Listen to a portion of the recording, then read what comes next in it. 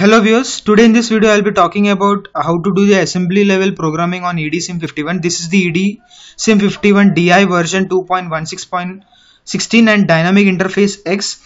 So uh, the thing which you see here that is the uh, control board of 8051. Uh, so let me give a brief introduction about this. Uh, it is a system clock set to 12.0 MHz serial buffer read output write output receiver transmitter serial control register. These are the pins and bits of from registers p0 to p3 these are the parity bits. These are the timer high 0 and timer low 0 timer mod and timer control register. These are the th1 and tl1 register.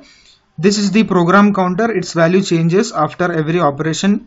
These are the registers r0 to r7 these are the 8 registers of 8051 now this is the uh, B register accumulator program status word.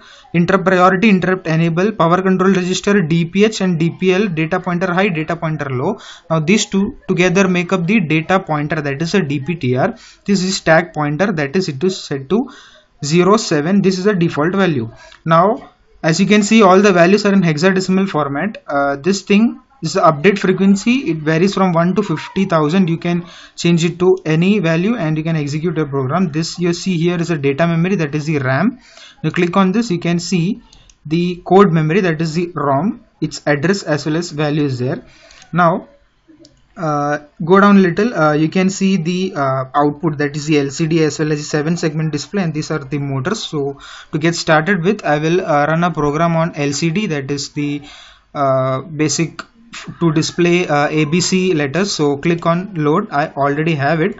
I will click on this. Uh, now remember this uh, assembly level files are saved with the extension .a as well as .asm so let's click on open. And this is the program. Uh, now to get started first set the update frequency at which frequency you want to run it. After that click on this run. You can see the status here and the output here. Uh, this was it is just fast.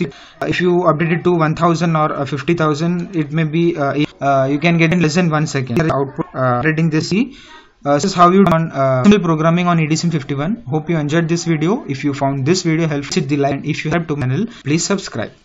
Thanks for watching this video